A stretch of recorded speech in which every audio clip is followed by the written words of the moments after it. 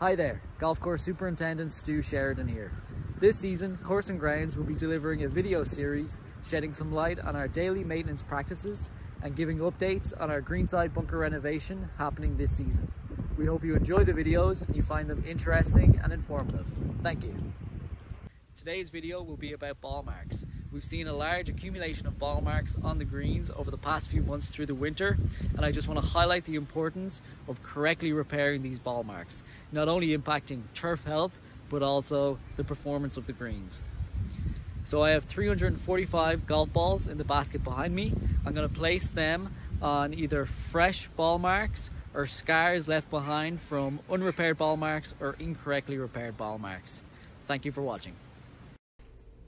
For the purpose of this video, we began at the front of number 14 green, and as you can see, we quickly ran out of our 345 golf balls, highlighting the number of ball marks that we do see over the winter months.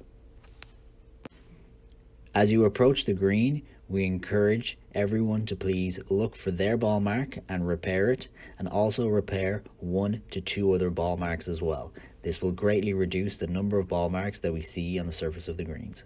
This amount of ball marks cause two main issues. First being turf health. This time of year with the low light levels and low temperatures, these scars will not recover for a number of months. So this is an example of an old ball mark scar from an unrepaired or incorrectly repaired ball mark. As you can see, there's a patch of soil in the middle of the ball mark and it's going to take quite a while for the turf to grow back in and fill in this area, especially over the winter months. The second main issue that this many depressions on the surface of the green cause is of course the impact on the roll of the golf ball, as seen here. Each of the ball marks marked on the green in this video impact ball roll, some as extreme as this. So now we're going to look at repairing a ball mark with a traditional ball mark tool. Any ball mark tool can be used, even a golf tee would be sufficient. The golf ball has come in from the tee or fairway and left a depression in the surface of the green, and we're going to focus on pressing the turf back into this depression. We don't want to lever the turf upwards and break roots or bring soil to the surface.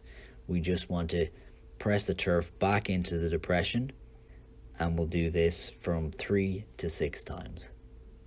Once finished, we can use our putter or our foot to smooth off and tamp down this area. As mentioned, we can use a golf tee to do the same process here.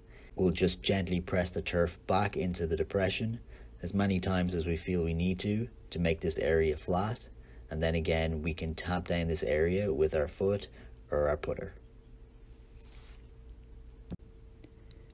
Thank you for watching this video.